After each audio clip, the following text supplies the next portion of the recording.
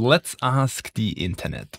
So what is a swipe file? A swipe file is a collection of test and proven advertising and sales letters. Keeping a swipe file is common practice used by advertising copywriters, creative directors as a reference for ideas for projects. That's quite marketing here, but this concept also works pretty well for music. And to simplify this a little bit, a swipe file is a collection of ideas you have saved from other artists. So you will in the future keep your ears open for things you like. I mean with things you like, specific things you like. So not saying, okay, this is a cool track. Ask yourself, what is cool in that track? Is it the drums? Is it the kick? Is it the bass? Is it a certain melody? Is it a drop, some transition, some riser, whatever element it is, you can save that for future referencing. The cool thing is you're not only limited to Psytrance tracks. So for example, if you are watching a movie, and especially like a lot of sci-fi and I think horror movies have pretty cool and nasty stuff in there, which you can use in tracks. Whenever you encounter something like this, I would save it. Now comes the question how to save that. If you haven't already, then please boop the like button. That will help me to boost this video in the algorithm so to show to more producers like you and also shows me what content you value.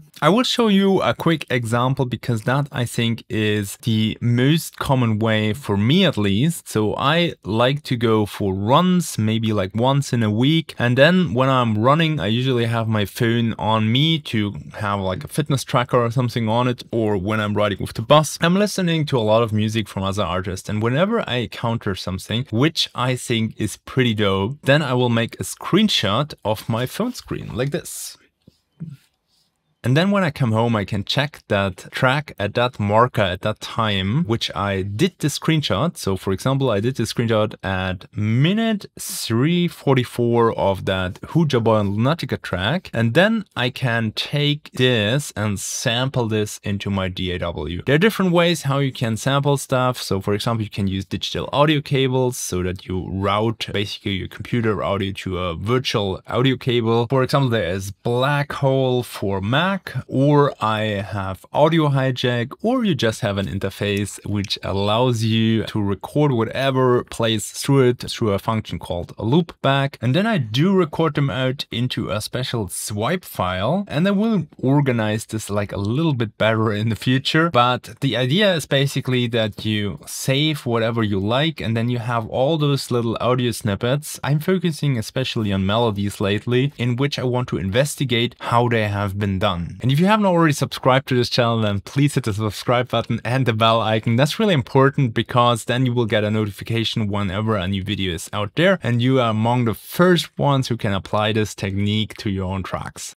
The next step, in my opinion, is that you align those audio snippets really good so that you have, for example, this here, starting here with the kick and bass. And then you need to set the BPM of your DAW so that it really starts again on the markers. And once you did this, you consolidate it, you run it usually through some kind of like AI separation tool. And then you can go deeper and get the notes out of those tracks. Usually it's not super good if you drag this over from Ableton to here. But what you can do, you can check out this video up here in which I show how you do this with a tuner or with the span analyzer. Anyways, it doesn't need always to be that good. Sometimes it just is okay to have this as a reference and to see what they actually did. So it's not about like getting the exact notes and putting them in your track because that would anyways sound cheesy like you have stolen the melody of another artist. It's more about getting the concept of this melody. So for example, example, which note lengths does it use? Which intervals does it use? Does it change directions a lot? Or is it like following one direction? Does the melody change over time? All those questions you can really easy answer once you extracted the MIDI out of it. And yes, it's a little bit of work you need to do. And the same goes for rhythms. So let's say you discovered some cool FM rhythms or some grid games, then you can basically reconstruct them in MIDI. You can see basically how I did this with a whole track um, in this video up here. It's from uh, Astrix Universal track. There you can see I just put like some MIDI placeholders in there. So depending on your needs, you need to put in a little bit more or a little bit less work and you will never reach it perfect so that you get the exact same MIDI with the exact same synthesis. That will never happen. But if you're getting close to it, then you're already able to learn. And that's what it actually is about. So the swipe file is not about stealing. The swipe file is about getting inspiration. It's about learning. We humans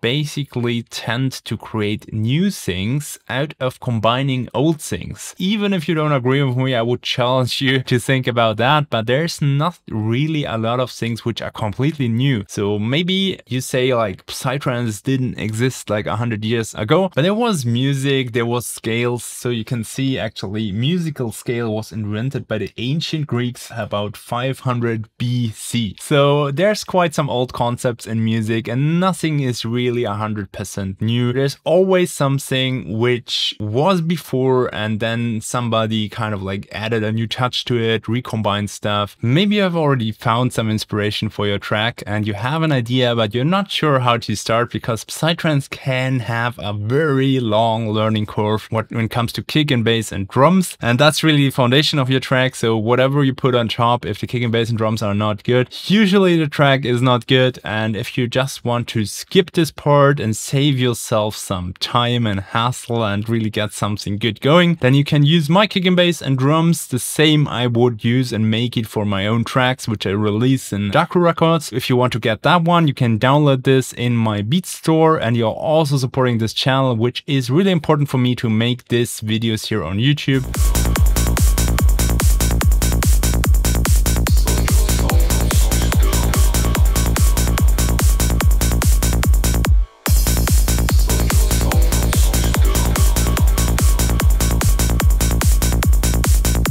So thanks to all the guys who already supported my channel and I hopefully you will be one of those in the future as well. There's actually a great track from Talamasca. It's called Psychedelic Trance and there he also says Psychedelic Trance has its roots in acid house and rock. So you see there's nothing completely new and this kind of like swipe file will just help you to get like a new set of tools, a new set of little bits and Lego bricks you can then reassemble in your own way with your own artistic touch, with your own expression and experience you have collected over the years. And it will help you really to come up with new ideas or if you get stuck to get forward. Uh, for example, I had a track yesterday in which I wasn't satisfied because the main melodic element was missing. So I was looking through the swipe file about an idea for a melody and then I found one which I thought really suited the track well. And I will show you quickly. So this one is the original original melodic concept here and it's not as said it's not perfectly done from Ableton all that thing but you can see it has some concept of movement here in which it kind of like always goes up to a tone and goes up and then it has this melody which reacts a little bit like a counter melody in itself so it has the one part up there and one down there which kind of like gets closer to each other and then it gets back to the stepwise motion. So it has quite a lot of development in the melody itself and I just took this concept concept with different notes even with like a different direction. So my melody is not moving upwards, but it's moving downwards. And I use that stepwise motion and I try to implement a little bit of that kind of like getting together thing with a completely different flair. Once that track is out, I'm sure you won't be able to recognize where the initial idea came from. So I added my own touch to this, but I think it was really helpful for me to find that missing piece in that track. So that can be a source of inspiration. And I think it's a total valid source of inspiration as long as you add your own flavor to it and not just bluntly copy stuff. Your source of inspiration doesn't need to be only Psytrance music. You can take a lot of cool inspiration. So for example, I have in my swipe file a melody from a hip hop track, which I think was pretty cool and I want to investigate a little bit how they did it. But it also can be like movies, for example. I was with my girlfriend in Ariel, uh, the mermaid, and I haven't found the melody yet because that movie isn't online yet yet, but there was a pretty cool passage in which she was swimming towards a sunken rock and there were really mysterious paths down there. So since I started with that swipe file concept, I'm really keeping a lot more attention on musical things I listen in movies, I listen in other music, and maybe it doesn't even need to be music just to challenge this idea. It can be probably anything which gives you some inspiration in the end. If you want to